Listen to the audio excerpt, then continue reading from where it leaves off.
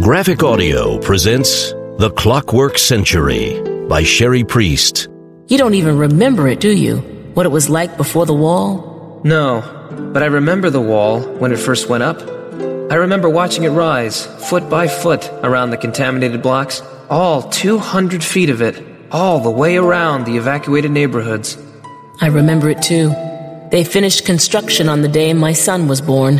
It was all he ever heard while I was carrying him. As soon as the poor child arrived, the world fell silent. Speaking of the boy, it's getting late. Where's he gotten off to, I wonder? Ugh, here we are. No one else to hear. You talk and you talk fast. I want to know where Zeke went and I want to know now. All he wants is to prove that Leviticus wasn't crazy or a crook. What makes him think he can do that? He might have heard a rumor from someplace.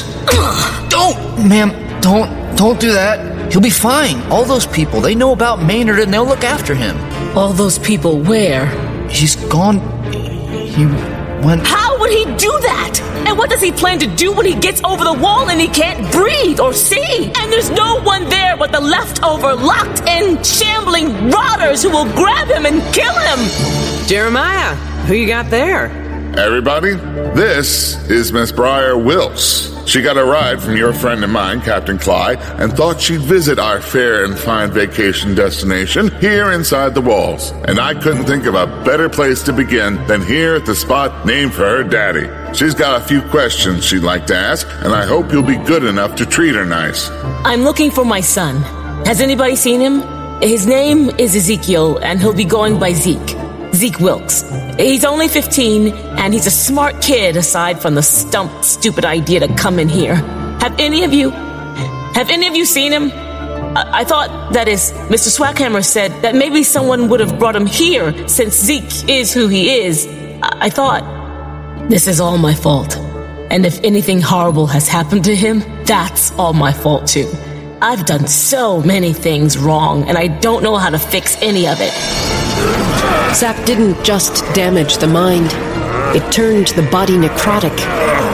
Gangrene would catch and sprawl, creeping out from the corners of mouths and eating away cheeks and noses.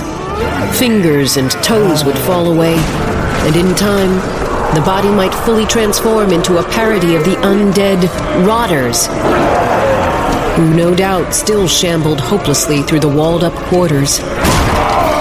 This isn't the outskirts, Junior. You act like a fool out there, maybe someone takes a switch to you or pops you in the jaw. You make problems in here, and you'll be rotter shit before dawn.